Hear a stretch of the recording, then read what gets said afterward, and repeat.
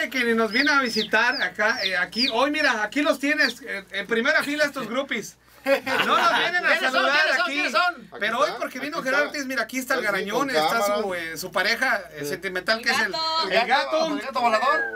No entra en este estudio, pero porque viniste tú, mira cómo los tienes acá. Y, y No, todo pues está bien. también.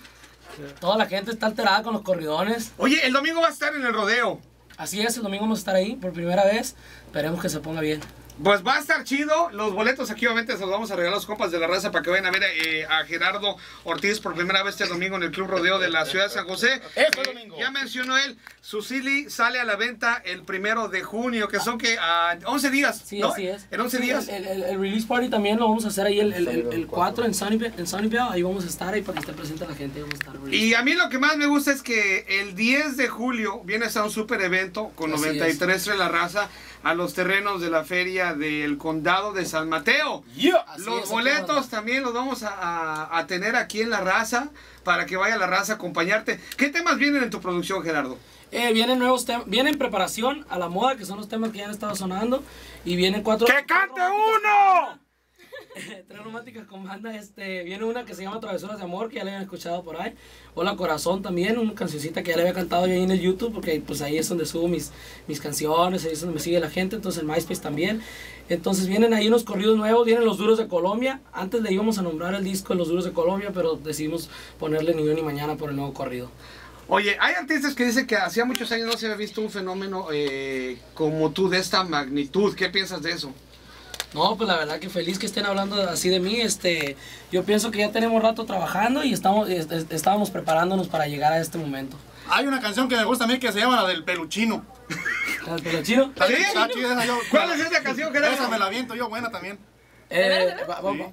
Es un corrido, es un corrido. De ¿Cómo va? ¿Cómo va esa el peluchino? A ver. la muerte atrincada, mi vida prende de un hilo. Son por mis actividades relacionadas con vicios. Sí, señor, soy traficante, pero soy muy productivo.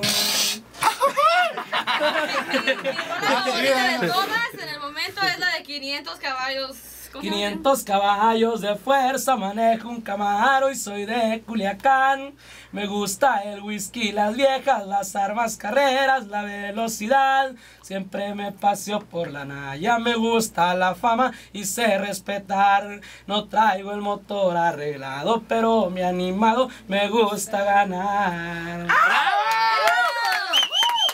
Oye, Ya Gerardo. salió el video, de hecho, ya aquí no sé si lo has mirado, Sí, el video no, de Culiacán no. Mazatlán, con calibre 50. Me gusta pasar por McDonald's, a veces el festival, a veces loncheras me invitan para comerme una torta. Este vamos. Esto se van acá abajo.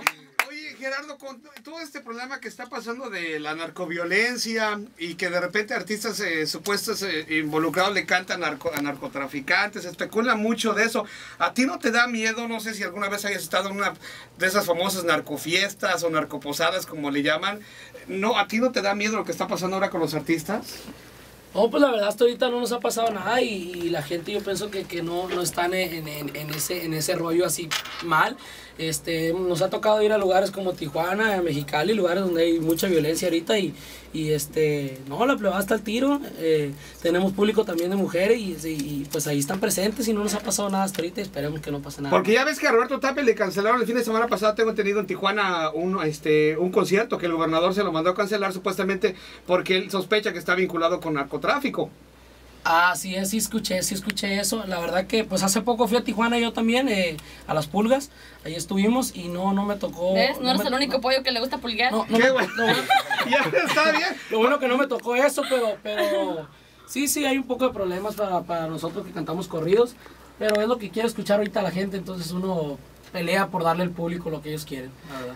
Pues mira, desgraciadamente se nos ha acabado eh, el tiempo, Gerardo Ortiz. Nos da No. mucho gusto que nos hayas venido a acompañar esta mañana. Deseamos que te siga yendo bien como te está yendo.